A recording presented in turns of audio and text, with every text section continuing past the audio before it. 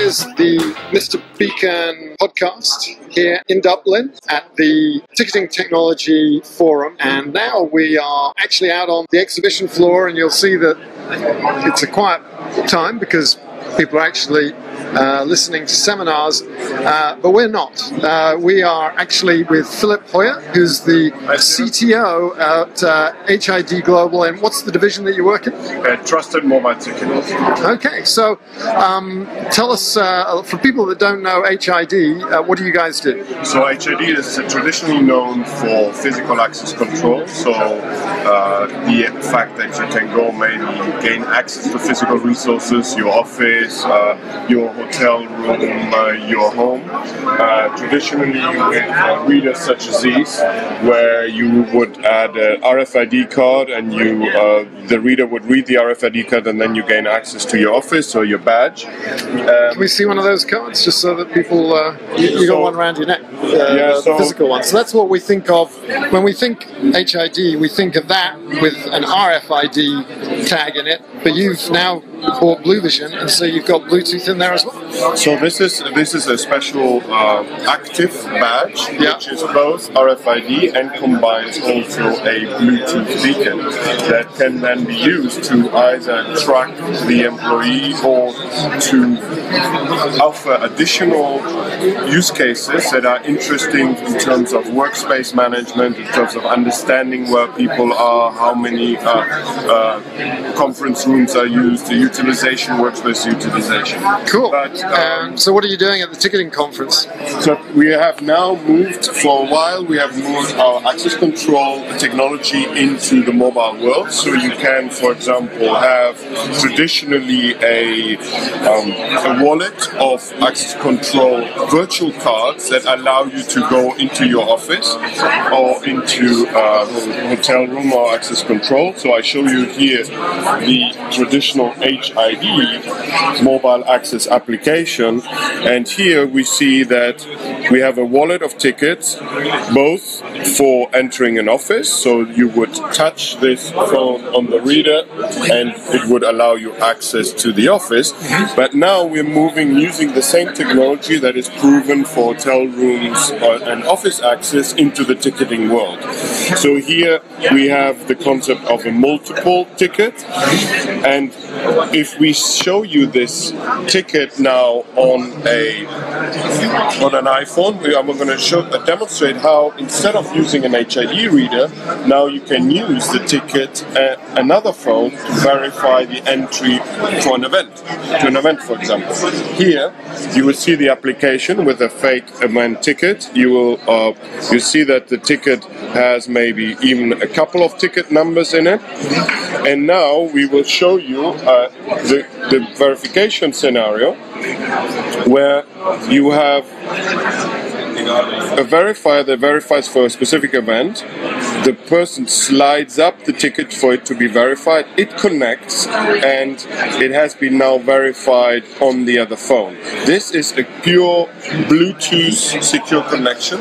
The other great thing is that on this phone you don't need a database of ticket numbers. What is really happening is that a secure connection is happening between the two phones and the ticket here contains a signed payload that says, I am a valid ticket for this specific event. So this gives now the opportunity for a few more interesting use cases. For example, the phone that holds the ticket knows that the ticket has been verified compared to a QR code where you just show the code and the phone has no idea if the reader has read it or not. This uh, allows, for example, automatic social media check-in. It allows the phone of the ticket holder to call back to the backend and says that he has been verified. It allows a new engagement with the ticket holder at the moment of verification. The other thing that we can do is because the communication is bi-directional, not like with a QR code only in one direction, a verifier or reader could write back a coupon, modify the ticket, etc., so that the experience within the stadium then can be enriched. For example, the ticket holder could be given a coupon for free beer. Um, the ticket, also being Bluetooth technology, can potentially be extended to allow things like proof of ingress. So, for example, when you don't have a physical barrier do access control, the ticket can act as a privacy enabled secure beacon that can be detected by a BluFi device, which is a bridge between Bluetooth and Wi-Fi and connects to the BluFi cloud. And so that BluFi comes from BluVision, which is this company that you bought. Correct. So with. BluVision is now uh, an addition to the HID family. We really thought that the Bluetooth uh, location services, the fact that uh, the beacons themselves and that technology is a wonderful addition to the HID family, both in the physical access control, where we have situations where people want to know, for example, in cases of fire or emergency, where people are or how many how many people have exited the building. They also want to know the real uh, estate uh, utilization, the workspace utilization, understand how people uh, behave or move within a building. Matter of fact, if you see the uh, the BluZone uh, cloud service, you can track, for example, where a specific uh, um, tag or badge is. Yeah. So I would, for example, show you that this specific um, beacon, which is a visitor badge, which I said, is here in the location of the Dublin Ticketing Forum, and here you see the floor plan and where we are here at the moment, and that the badge has been here. So you've basically just plugged in four of those blue fires power sockets around the. around the hall, the exhibitors hall, and they will then track potentially if it is enabled either the bla- the badge, the beacon, or a, a tracking enabled ticket on the phone if we wanted to. But it's important to note that it's not any uh, phone or device that can simply track it. There's a lot of cryptography and privacy enabled um, cryptography going on so that only authorized devices can actually track what we want so to track. So we've got that uh, amber kind of mark there that indicates where one device is. Correct, and but you might want to say we want to look at if that person where how it moved within the um, within the uh, space in the last few hours. Okay. So we can easily have a history of that specific uh, beacon or credential over the last few hours, and you see here by zooming in that I was quite diligent and was actually always in the. You are working hard. I mean, you've hardly strayed from the, the booth at all. That's right. So the other thing that we can do, which is quite interesting for the ticketing situation, is we can position just one of them and create a policy that says that if a ticket or a badge comes into the vicinity of it from a range of meters, then you would create a, an event or notification or an alert. So in this case, for example, I have created a policy that says if a beacon is at the proximity of the HID stand here, and it will then generate an alert if the badge was effectively coming into the vicinity. So imagine, Stephen, that you would have a VIP or a specific guest, and they would come in through the entrance, and the event organizer could be um, notified that that person has arrived without having to actually go through an access control perspective because the BluFi would detect the presence of that person.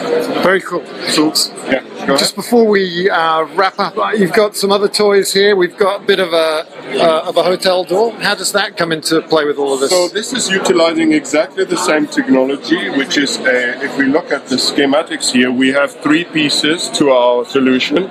We have a cloud system, we have a secure wallet on the phone, which protects the different keys, tickets, etc. And then we have the way for that phone to interact with the readers on another phone. So here we have an example of using that with a key that opens a hotel lock. So this is an iPhone. We know that it's it's it, we cannot uh, utilize the NFC. So this is a pure Bluetooth-based solution, and as you can see now, the door is open. So imagine in a situation for a venue, like a sporting venue, where you have, uh, for example, a VIP lounge or a box, then you could have the ticket on the phone also opening that area or opening the private, you know, resources, uh, let's say, of the of the VIP lounge.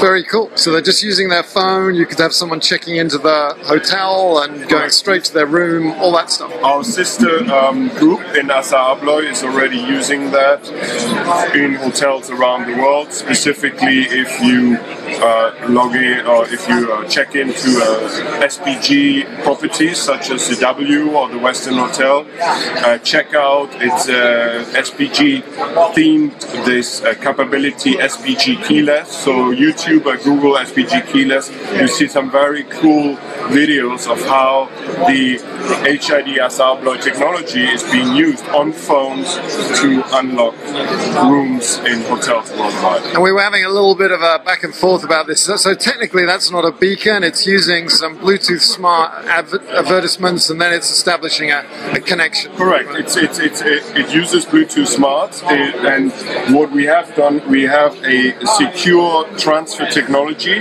that creates effectively a mutual authentication over Bluetooth between the phone and the reader or the lock, and then allows the secure transmission of the key or the ticket to the verifying device, be it a lock, be it a reader or phone. So we're here really because we think that with this technology, we're looking for partners to create a better engagement of the user that always has the phone with them and get away from QR codes. And we believe that with this technology, we open up use cases and experiences that are more entertaining, more frictionless for the actually the punter or the, the fan attending an event. Wonderful. I think that's really compelling. Philip Hoyer of HID Global, thanks so much. Thank you.